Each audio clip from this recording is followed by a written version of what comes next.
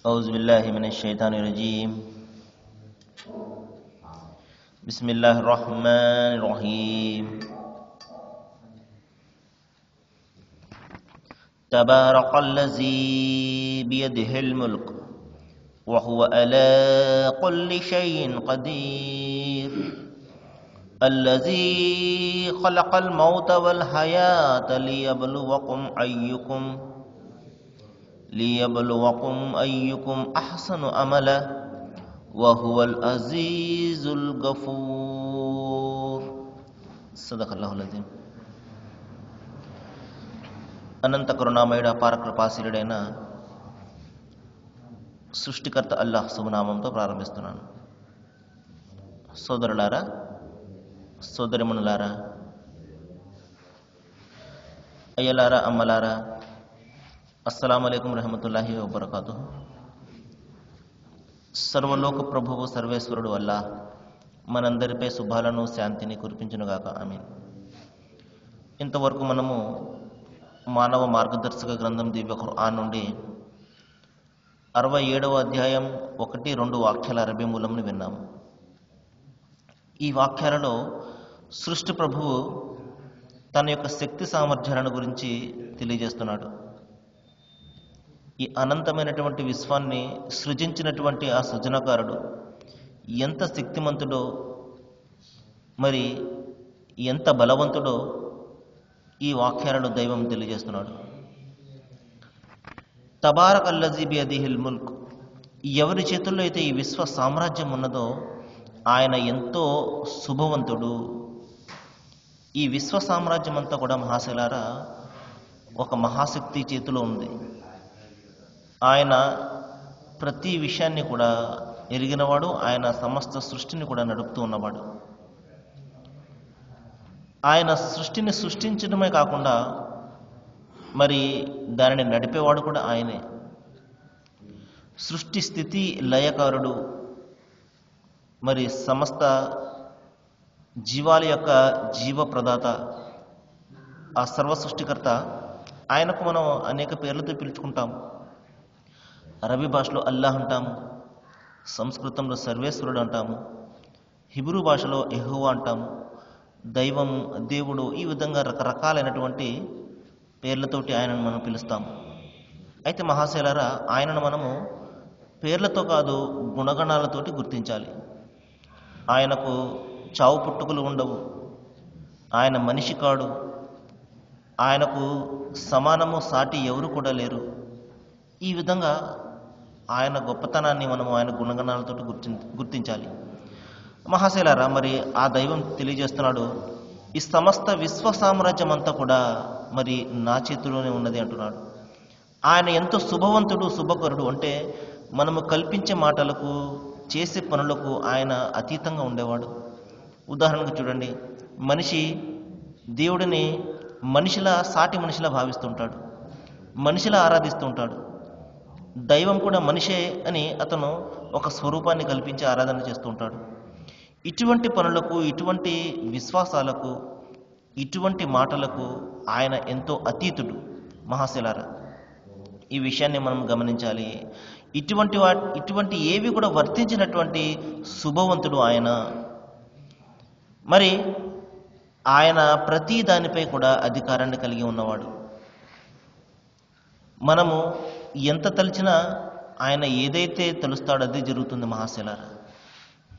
మనం ఎంత తలిచినా కూడా ఆయన ఏదైతే అనుకోవడం అది ఎంత మాత్రం కూడా జరగదు. ఆయన అనుకున్నది మాత్రమే జరుగుతుంది. ఈ సంగతి మనందరికీ కూడా తెలుసు. మనము ఏదో ఒక పని సంకల్పించుకుంటాము చేద్దాము అని. అన్నీ కూడా తయారుగా ఉంటాయి. ఇక ఆ పని చేసేయడమే తరువాయి కానీ ఆ పని జరగదు. ఈ విధంగా మనము లక్ష ఆలోచనలు చేసినప్పటికీ కూడా ఆ దైవం యొక్క సంకల్పం లేకపోతే అనుమతి లేకపోతే అది ఏ ఏ పని కూడా జరగదు మహాశలరా. అదే విషయాన్ని ఇక్కడ దైవం తెలియజేస్తున్నాడు. ఆయన ప్రతి దానిపై కూడా అధికారాన్ని కలిగి ఉన్నవాడు. ఇక మనలను ఈ ప్రపంచంలో ఎందుకు పుట్టించాడో ఈ వాక్యంలో తెలియజేస్తున్నాడు. అల్లజీ ఖలకల్ మౌత వల్ హయాత్ లియబ్లువకుం అయ్యుకుం అహసను అమల. నేను మీ మధ్య చావు పుట్టుకలు ఎందుకు సృష్టించాను అంటే దైవం కేవలం ఒక ఆట వస్తువు మాదిరిగా తయారు చేశాడు ఈ ప్రపంచాన్ని. ఒక సందర్భంలో సృష్టి ప్రభువు తెలియజేస్తాడు ఈ విధంగా కాలక్షేపం కోసం నేను ఇంత మాత్రం కూడా ఈ ప్రపంచాన్ని మిమ్మల్ని సృష్టించలేదు అంటాడు. ఒకవేళ ఆ విధంగా సృష్టించదలిస్తే తాను కోరినది అని సృష్టించుకునేవాడు. మనుషులకు ఈ విధమైనటువంటి పరీక్షలు పెట్టడము ఈ చావు పుట్టుకలు ఈ బాధలు ఈ ఆనందాలు ఏమి కూడా అవసరం ఉండేవి కావు మహాశైలారా. ఒక ప్రధానమైనటువంటి లక్ష్యం నిమిత్తము దైవము మానవాళిని సృష్టించడం జరిగింది. ఆ లక్ష్యాన్ని ఇక్కడ చెప్తున్నాడు. మీలో మంచి పనులు ఎవరు చేస్తారో పరీక్షించి చూద్దామని ఆయన మీ మధ్య చావు పుట్టుకలు సృష్టించాడు అంటున్నాడు. కాబట్టి మహాశైలారు ఇక్కడ ఈ ప్రపంచము ఒక పరీక్ష ప్రపంచము. మరి ఇక్కడ ఎవరైతే మంచి పనులు చేస్తారో లేకపోతే ఎవరైతే చెడు పనులు చేస్తారో ఈ పరీక్ష నిమిత్తమే మనకు ఈ ప్రపంచంలో జీవితము ఇవ్వడం జరిగింది. కాబట్టి ఏ పని చేయాలో ఏ పని చేయకూడదో చాలా స్పష్టమైనటువంటి ఆజ్ఞలను మరి మార్గదర్శకాలను దైవము తన ప్రవక్తల ద్వారా తన గ్రంథాల ద్వారా మానవాళికి అందజేసేశాడు. ఆ పరంపరలో చివరిగా మనందరి కోసం వచ్చినటువంటి గ్రంథమే అంతిమ దైవ గ్రంథం దివ్య ఖురాన్. ఇందులో దైవం తెలియజేశాడు ఏ పని చేయాలి ఏ పని చేయకూడదు అని. ఇక ఆ పని చేయడమా చేయకపోవడమా అనేది ఆ ఎంపిక స్వేచ్ఛను మనిషి మీద వదిలేశాడు. ఇది మహాశైలారా. సహజంగా మనిషి ఇక్కడ ఏం భావిస్తాడంటే నేను చెడు పని చేయకుండా ఉండాలి అని దైవం సంకల్పిస్తే నేను చేయకుండా ఉండేవాడిని కదా. ఈ విధంగా ఆ నెపాన్ని దైవం మీద నెట్ నెట్టుతూ ఉంటాడు. కానీ ఒక విషయాన్ని మనం ఇక్కడ ఆలోచన చేయాలి. అదేమిటంటే దైవము మనిషికి ఎంపిక స్వేచ్ఛను ఇచ్చి పరీక్షిస్తున్నాడు. ఆ ఎంపిక స్వేచ్ఛలో ఆయన ఎంత మాత్రం కూడా కల్పించుకోడు. మంచేదో చెడేదో స్పష్టంగా చెప్పడం జరుగుతుంది. ఆ అనుసరించే ఆ ఎంపిక మాత్రము మనిషి మీద వదలడం జరిగింది మహాశైలార. కాబట్టి మనిషి తన జ్ఞానాన్ని ఉపయోగించాలి ఆలోచన శక్తిని ఉపయోగించాలి ఉపయోగించి మంచి ఏదో చెడేదో తెలుసుకుని అతను ఆ మార్గంలో పయనించాలి. అదే అతనికి ఇక్కడ పరీక్ష. కానీ మనిషి నేను ఆటోమేటిక్గా మిషన్ మాదిరిగా నేను వెళ్ళిపోవాలి మంచి పనులు చేసేయాలి లేకపోతే ఇంకొకటి చేసేయాలి అంటాడు. ఆ విధంగా దైవం మనకి ఇక్కడ జీవితాన్ని ఇవ్వలేదు. ఇక్కడ పరీక్ష నిమిత్తము మనకు ఈ జీవితం ఇవ్వడం జరిగింది. ఆ తర్వాత మహాశిలారా దైవం మరి ఆయన సృజించినటువంటి ఆకాశాలను గురించి ఇక్కడ తెలియజేస్తున్నాడు. ఆయన ఒకదానిపై ఒకటి ఏడు ఆకాశాలను సృజించాడు. ఇదేంటంటే ఏడు ఆకాశాలు ఎక్కడ ఉన్నాయి? ఒకటే కథ కనబడుతుంది అన్న ప్రశ్న వస్తుంది. మహాశలరా మనకు కనబడుతున్నటువంటి ఆకాశము ఎంత ఎత్తులో ఉన్నదో ఇంతవరకు కూడా మనము మనిషి జ్ఞానం తెలుసుకోలేకపోయింది. ఈ అనంతమైనటువంటి ఈ విశ్వంలో కోటాను కోట్ల పాలపుంతల్లో ఒక పాలపుంతలో ఒక సౌర కుటుంబంలో ఒక భూమిలో మనం జీవితం గడుపుతున్నాం. మన చుట్టూ కోటాను కోట్ల గ్రహాలు ఉన్నాయి కానీ మనకు పది గ్రహాల గురించి మాత్రమే తెలుసు. ఈ విధంగా మహాశైలర మనిషి జ్ఞానము ఒక పరిమితమైనటువంటి స్థాయికి మాత్రమే ఈ రోజున చేరింది. మన చుట్టూ ఉన్నటువంటి పాలపుంతల్లో ఎన్ని గ్రహాలు ఉన్నాయో మనకు ఇంత ఇంతవరకు కూడా తెలియనటువంటి పరిస్థితి. అలాగే మనకు కనబడుతున్నటువంటి ఆకాశం అంచు ఎక్కడున్నదో మనకు తెలియదు అలాంటిది ఇవన్నీ కూడా అగోచరమైనటువంటి విషయాలు. అందుకనే దైవం తెలియజేస్తాడు కనబడినటువంటి విషయాలను విశ్వసించడం కూడా విశ్వాసంలో ఒక భాగము అంటాడు. కాబట్టి సప్తాకాశాలు ఉన్నాయి మనకు పెద్దలు కూడా చెప్తుంటారు. అవి ఎక్కడ ఉన్నాయి? ఏమి ఉన్నాయి? అవి ఇంతవరకు మన జ్ఞానము వాటిని చేరలేదు. ఈ విషయాన్ని మనం గమనించాలి. ఇక సృష్టి ప్రభువు తెలియజేస్తున్నాడు. ఒక మాటను తెలియజేస్తున్నాడు. అదేమిటంటే ఆయన సృష్టిలో నీవు ఏ విధమైనటువంటి క్రమరాహిత్యాన్ని చూడలేవు. చూడండి మనము ఈ సృష్టిని చూస్తున్నాం మహాశిలారా. ఎంత అందమైనటువంటి పొందికలో ఈ సృష్టి ఉన్నదో మనం ఒక్కసారి గమనిస్తే మనకు చాలా ఆశ్చర్యంగా అనిపిస్తూ ఉంటుంది. మరి చూడండి కోటాను కోట్ల సంవత్సరాలు అయింది భూమి పుట్టి అని మనకు శాస్త్రజ్ఞులు చెప్తున్నారు. ఇన్ని కోటాను కోట్ల సంవత్సరాల నుండి కూడా ఏదైనా హెచ్చు తగ్గులు కానివ్వండి లేకపోతే ఎక్కువ తక్కువలు కానివ్వండి మనం ఎప్పుడైనా చూస్తామా? ఎంత ఒక క్రమబద్ధంగా లయబద్ధంగా ఈ సృష్టి జరుగుతుందో చూడండి. ఈ ఋతుచక్రాలు మారడము పగులు రేయి ఏర్పడము ఈ విధంగా వానలు ఎండ చలి ఇవన్నీ కూడా ఎంత సిస్టంగా ఎంత ఒక క్రమంగా నడుస్తుందో ఒకసారి చూడండి. మరి ఆ నడిపేవాడు ఒక్కడు కాకుండా అనేక మంది ఉన్నట్లయితే ఎంత అస్తవ్యస్తంగా మారిపోయేది ఒకసారి చూడండి. సమాన శక్తి గల ఇద్దరు దేశాన్ని ఏలినట్లయితే ఆ దేశం ఏమవుతుంది మహాశైలారా? కాబట్టి ఈ వెనుక నడిపినటువంటి నడిపే ఆ శక్తి ఆ దైవము ఎంత క్రమంగా నడుపుతున్నాడు ఈ సృష్టిని ఒక్కసారి మనము మన మనస్సు పెట్టి ఆలోచన చేసినట్లయితే ఒకే ఒక సమాధానం మనకు కలుగుతుంది దొరుకుతుంది. అదేమిటంటే ఈ సృష్టిని నడిపేది కేవలం ఒకే ఒక దైవుడు అని చెప్పి. మరి ఆ దైవం తెలియజేస్తున్నాడు నీవు అనేక వస్తువులు తయారు చేస్తూ ఉంటావు. చూడండి మనం అనేక వస్తువులు తయారు చేస్తూ ఉంటాం. మరి అందులో ఎన్ని లోపాలు మనము చూస్తుంటాం చూడండి. ఎంత పెద్ద కంపెనీ అయినప్పటికీ కూడా ఏదో ఒక లోపం అందులో కనబడుతూ ఉంటుంది. కానీ దైవ సృష్టిలో ఏదైనా లోపం మనకు కనబడుతుందో? ఒకసారి చూడండి మహాశైలారా. అందమైనటువంటి మనిషి అందమైనటువంటి ప్రకృతి.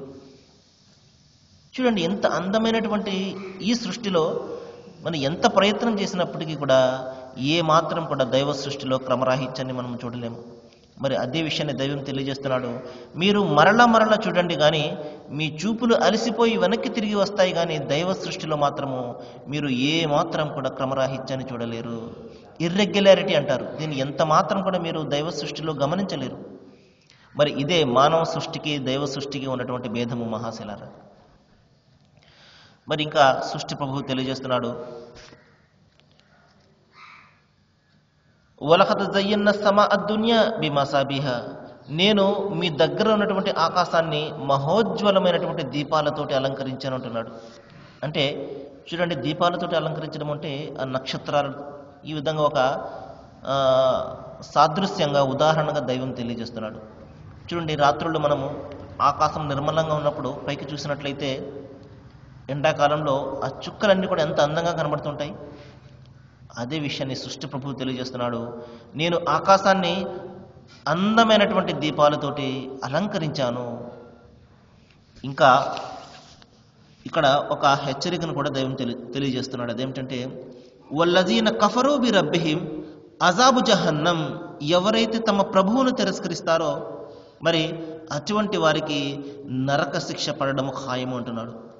దైవాన్ని ఎవరు తిరస్కరిస్తారు మహాశలారి ప్రపంచంలో? ఏ వ్యక్తిని ప్రశ్నించినా కొంతమంది తప్ప నాస్తికులు తప్ప అందరూ కూడా దైవం ఉన్నాడు అనే ప్రశ్న అని జవాబిస్తారు మహాశిరారు అయితే ప్రశ్నల్లా ఆ దైవం ఎవరో అతను అంత మాత్రం కూడా ఆలోచన చేయడు. ఈ విధంగా తెలుసో లేకపోతే తెలియకో దైవాన్ని మరి పరోక్షంగా అతను తిరస్కరిస్తూనే ఉంటాడు. దైవానికి మనిషి రూపాన్ని కల్పించడము మనుషులను సాటి చేయడము ఈ విధంగా ఆరాధన చేస్తూ ఆయనను తెలియకుండా తిరస్కరిస్తూ ఉంటాడు. కాబట్టి మహాశైలరా మనము ఏ విషయంలో ఏ విషయంలో జ్ఞానాన్ని సంపాదించినా సంపాదించకపోయినా నష్టం ఏమీ లేదు కానీ దైవానికి సంబంధించినటువంటి జ్ఞానం మాత్రం ప్రతి మనిషి కూడా మనలో సంపాదన సంపాదించాలి. ఆయన ఎవరు ఆయన ఎలాగుంటాడు ఆయన గుణగణాలు ఏమిటి ఆయన శక్తి సామర్థ్యాలు ఏమిటి ఈ విషయాల గురించి తప్పనిసరిగా మనం తెలుసుకోవాలి. ఎందుకంటే మనకు స్వర్గ నరకాలు నిర్ణయించేది ఈ జ్ఞానమే. మన ప్రాపంచిక జ్ఞానం కొంతసేపు మాత్రమే పనికొస్తుంది ఈ జీవితాన్ని గడపడానికి. కానీ శాశ్వతమైనటువంటి పరలోక జీవితాన్ని మనము సంపాదించాలి అంటే తప్పనిసరిగా మనము దైవిక జ్ఞానాన్ని మరి సంపాదించాలి. ఈ విషయాన్ని మనం గమనించాలి. సృష్టి ప్రభు చాలా కరాఖండికి ఇక్కడ హెచ్చరిక చేస్తున్నాడు. అదేమిటంటే ఎవరైతే తమ ప్రభువును తమను సృష్టించినటువంటి ఆ సృష్టికర్తను ఎవరైతే తిరస్కరిస్తారో తెలుసో తెలియకు తిరస్కరిస్తారో మహాశిలారా అటువంటి వాళ్ళకి అంత మాత్రం కూడా క్షమ లేదు. మరి నరకం అంటున్నాడు. అది చాలా అత్యంత చెడ్డదైనటువంటి నివాస స్థలము. అందులోకి మనిషిని విసిరివేసినప్పుడు దాని భయంకరమైనటువంటి గర్జన వా- వినిపిస్తూ ఉంటుంది. నరకం యొక్క స్వరూపం ఏ విధంగా ఉంటుంది? దైవం తెలియజేస్తూ ఇక్కడ హెచ్చరిక చేస్తున్నాడు. భయపెడుతున్నాడు. తద్వారా మనిషిలో ఆలోచన జనించాలి. అతను ఈ నరకం నుండి తప్పించుకోవడానికి ప్రయత్నం చేయాలి అన్న ఉద్దేశంతో దైవము నరకం యొక్క కొన్ని స్వర స్వభావాలను స్వరూపాలను ఇక్కడ తెలియజేస్తున్నాడు. అందులోకి విసిరివేసినప్పుడు దాని భయంకరమైనటువంటి గర్జన వారికి వినిపిస్తుంది. అది తీవ్రమైనటువంటి ఉద్రేకంతో ఉడికిపోతూ ఉంటుంది. ఆగ్రహంతో బద్దలవుతుంటుంది అందులో ఏదైనా గుంపును వేసినప్పుడల్లా దాని కాపలాదారులు ఈ విధంగా హెచ్చరిస్తారు. మీ వద్దకు హెచ్చరిక చేసేవారు రాలేదా? మీరు ఎందుకు ఈ విధంగా నరకవాసులు అయిపోయారు అంటే వాళ్ళు అంటారు వచ్చారు మా వద్దకు హెచ్చరిక చేసేవారు ఈ రోజున గురించి హెచ్చరిక చేసేవారు వచ్చారు. చెప్పారు మాకు నరకం గురించి ఈ విధంగా కానీ మేము వినలేదు మేము ఆలోచన చేయలేదు అని వాళ్ళు సమాధానం చెప్తారు. ఇది మహాశైలారా. మనకు రాబోయే జీవితంలో మనం ఎదుర్కొనే ప్రశ్న మన వద్దకు దైవ ప్రవక్తలు వచ్చారు దైవ గ్రంథాలు వచ్చాయి సమస్తము కూడా మనకు తెలియజేయబడింది కానీ మనము వాటి గురించి ఆలోచన చేయలేదు అన్ని విషయాలు మర్చిపోయినట్లుగానే ఈ విషయం కూడా మర్చిపోయాము. మరి మహాశైలారా అనివార్యమైనటువంటి ఆ నరకము మనకు ఎదురవుతుంది. ఈ విషయాన్ని మనం గమనించాలి.